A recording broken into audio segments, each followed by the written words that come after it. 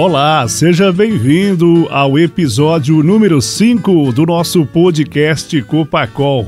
Muito prazer, sou Valdeci Xavier, jornalista da Copacol, e hoje a nossa conversa é com o gerente da integração suínos e leite da Copacol, Leonardo Dornelles. Vamos falar da suinocultura, atividade essa a qual a Copacol desenvolve em parceria com seus cooperados, que atuam no sistema de terminação dos animais. É mais uma opção de renda no campo que a cooperativa oportuniza ao seu cooperado.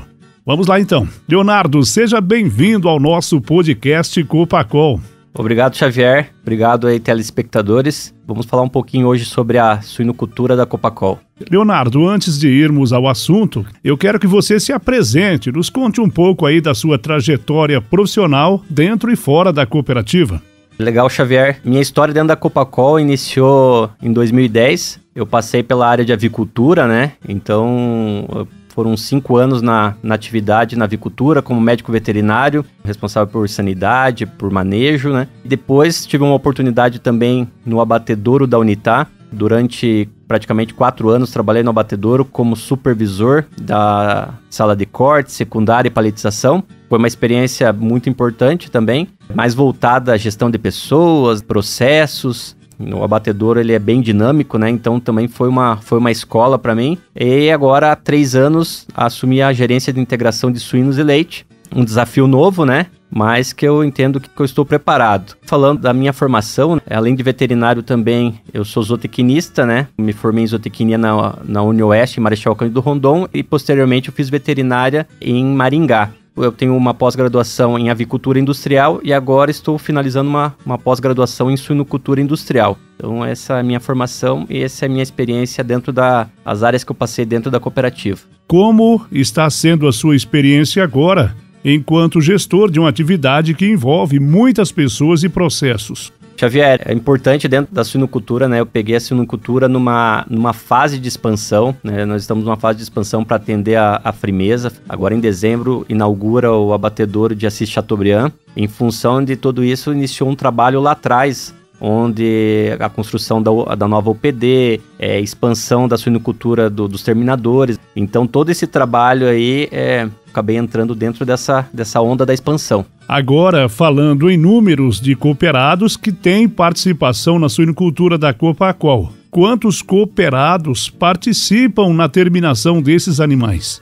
Hoje na terminação nós temos 146 produtores, né? A grande maioria deles aí também participando da expansão, né? Em função desse, desse aumento de produção da, da Frimeza, nós tínhamos aí praticamente 90 mil cabeças para liberar os produtores e a grande expansão ocorreu justamente nos produtores que já atuam na atividade, né? Então já tem aquela cultura, já conhece a atividade, e já entende da rentabilidade do negócio, então foram os principais produtores que, que participaram da expansão e como é desencadeado todo esse processo de parceria entre a cooperativa e o produtor. A integração, ela, né, o produtor, ele vai construir a pocilga, vai entrar com a questão da mão de obra e a cooperativa ela tem a contrapartida, né? A cooperativa ela vai fornecer assistência técnica, ela vai estar junto do produtor, apoiando ele em todo o processo produtivo, desde uma nutrição de qualidade, desde uma genética também de qualidade, né? Então a gente vai proporcionar todas as ferramentas para que o produtor tenha um bom desempenho no campo. Você está ouvindo o podcast Copacol, hoje falando de suinocultura com o gerente da integração suínos e leite da Copacol, Leonardo Dornelles.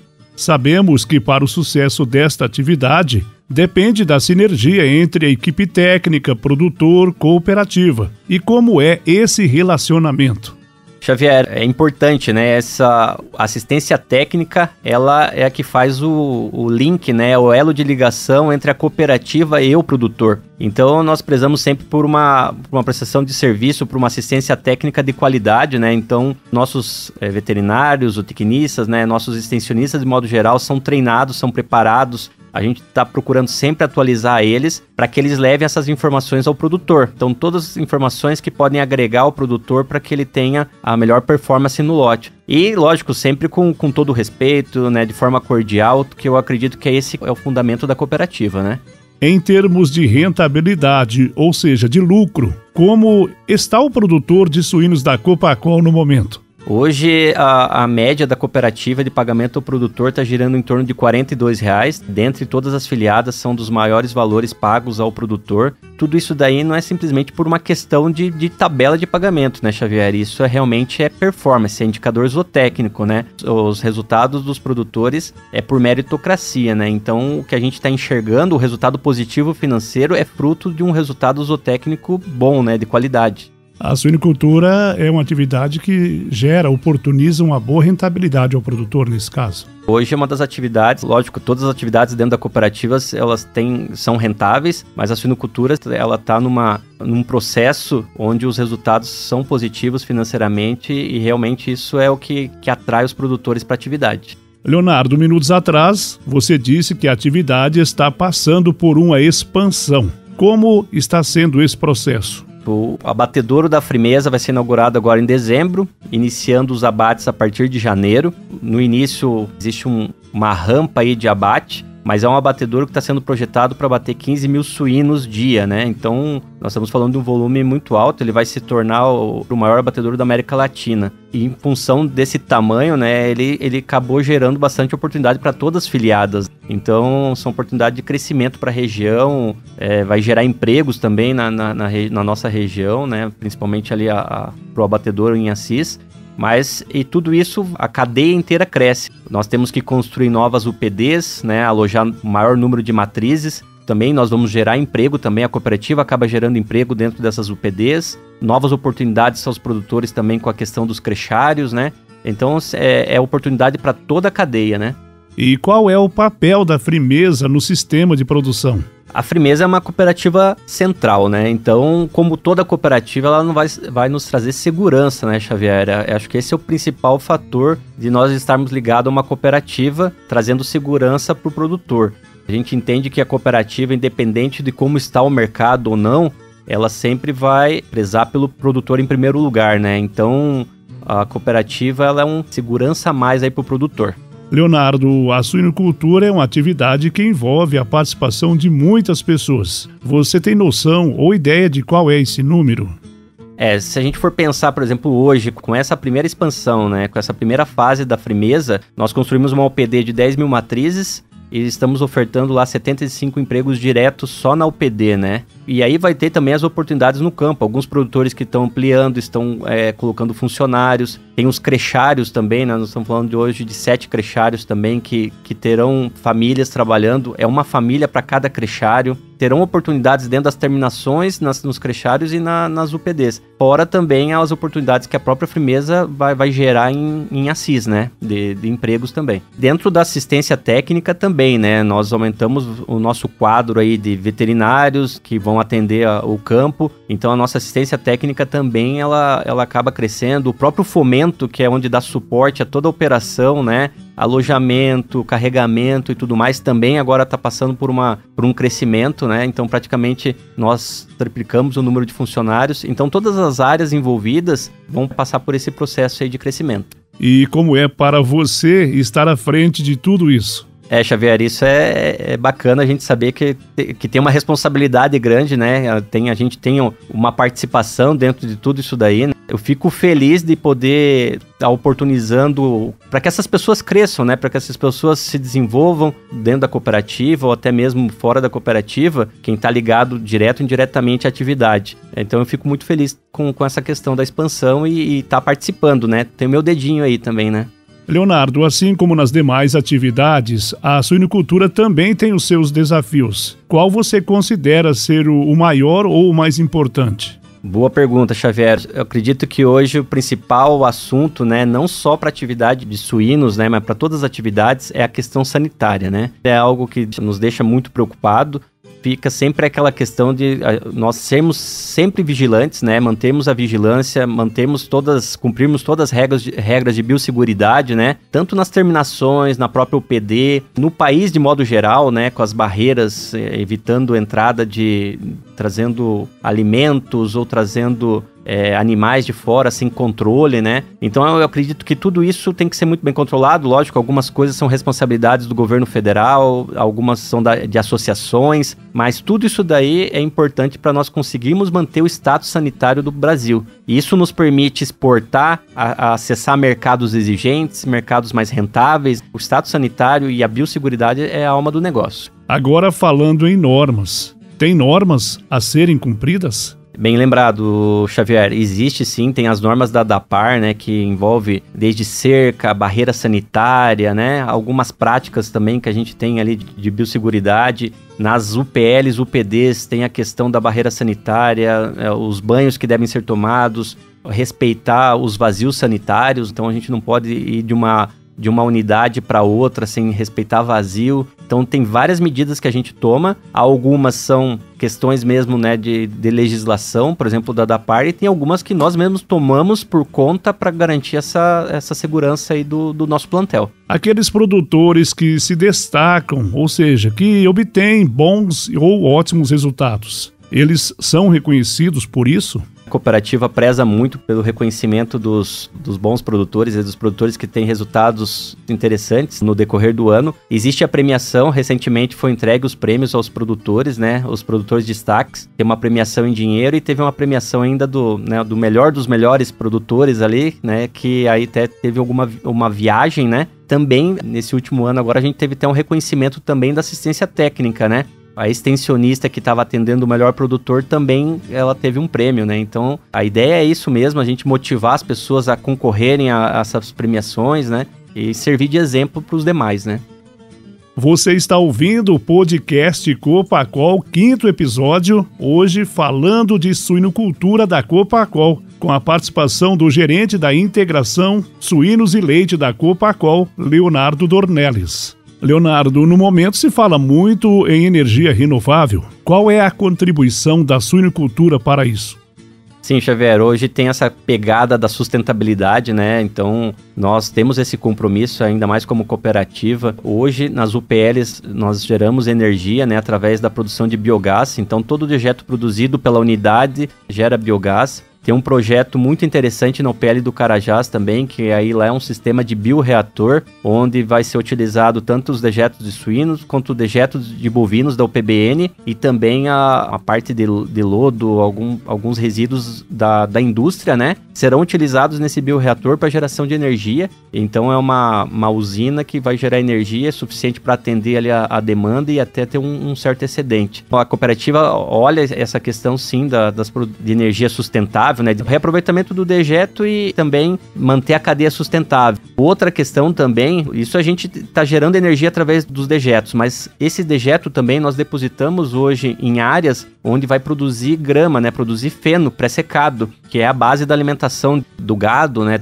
Tanto o gado de leite quanto o gado de corte. Então, através disso também se gerou um outro negócio dentro da cooperativa, que é a produção de pré-secado. Nós tínhamos uma questão que seria um passivo ambiental, mas a, a, nós tivemos a ideia de utilizar isso daí, produzir ter o destino correto, né? Destinar isso numa área de, de, de grama e produzir um, um novo material aí para produzir leite. A gente consegue fazer um ciclo aí sustentável, né? E na propriedade, ou seja, lá na pocilga de terminação, como são aproveitados ou descartados esses dejetos? Os produtores menores, eles não conseguem ainda produzir biogás, mas eles têm o destino correto dos dejetos. Alguns depositam isso nas áreas de lavoura, alguns têm umas áreas reservadas também de grama para produzir pré-secado ou para fazer pastejo dos, de, de, animais, né, de gado de corte. Nós prezamos muito para que esse destino seja correto, né, para que a gente não tenha nenhum problema. Mas tem agora produtores com empreendimentos um pouco maiores que já estão investindo na questão do biogás também. Então está saindo alguns projetos agora com produção de biogás gás, onde o produtor vai conseguir produzir energia para atender tanto a suinocultura quanto a outras atividades, né? Tem produtores que têm avicultura, tem piscicultura, que são atividades que têm um gasto maior de energia e ele vai poder jogar essa energia gerada do biogás na rede para atender essas outras atividades. A Copacol, com essa atitude, com esse aproveitamento dos dejetos, está tornando a atividade ainda mais sustentável, é isso? Isso, isso. A gente consegue gerar uma sustentabilidade na cadeia e também atender outras áreas, né? Por exemplo... E contribuir com meio ambiente. Contribui para o meio ambiente, exatamente. Então, é, eu acredito que isso que é, que é o ciclo que todo mundo hoje, né, tá querendo escutar, né, de, da energia verde, da, dessas questões, né, ambientais que está muito em destaque. A gente evita poluição. Então, eu acredito que nós estamos no, no caminho, né? A cooperativa ela tá bem à frente. O pessoal está discutindo hoje e nós já estamos um pouquinho à frente do que o pessoal está discutindo, né? Agregando valor. Agora falando da Frimeza. Ela é responsável por transformar o suíno em carne, ou seja, pela industrialização. Leonardo, para onde vai e quem consome essa carne? Hoje a, a Frimeza ela, ela atende tanto o mercado interno quanto externo, né? O grande mercado dela é o mercado interno, né? Estamos falando aí por volta de 60, 65% é mercado interno. Uma parte é exportação, né? Então ela atende vários mercados, vem abrindo alguns mercados novos, né? E ela vai ter que fazer esse trabalho sim, pensando até nessa questão do abatedouro novo, ela vai ter que trabalhar muito forte para posicionar essa produção, né? Como eu comentei, é um abatedouro grande, 15 mil suínos que serão abatidos, então ela vai ter que posicionar esse, esse produto no mercado. Tem que ter gente para comer essa carne. Tem, tem, tem. É, existe mercados que a gente sabe, né, que são um pouco mais difíceis de, de acessar, que são, por exemplo, o mercado chinês, que tem algumas outras exigências, como a retirada de ractopamina e tal. Mas existem mercados como Japão, Coreia, que são mercados rentáveis, consomem bem também, e tem algumas exigências de qualidade que nós temos que atender. Mas são mercados que né, o Brasil, de modo geral, está buscando explorar e entrar.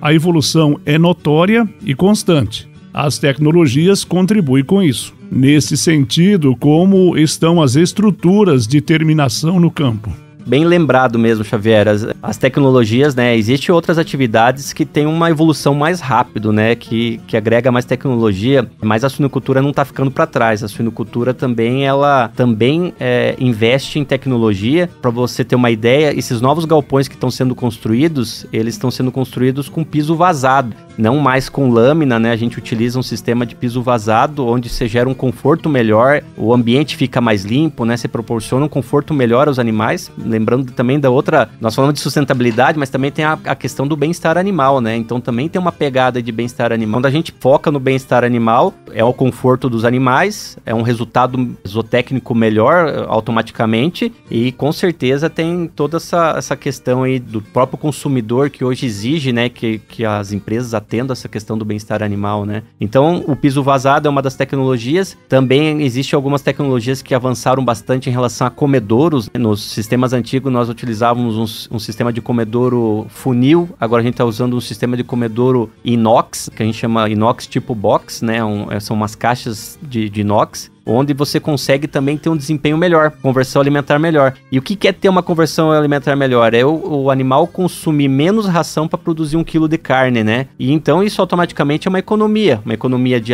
de alimento, né? Economia de farelo de soja, de milho, de ingredientes. Mão de obra. Mão de obra, gera menos dejeto, né? Então, assim, tudo isso daí tem um bom desempenho, automaticamente a gente está poluindo menos, e está entregando mais, com custo mais baixo também, né?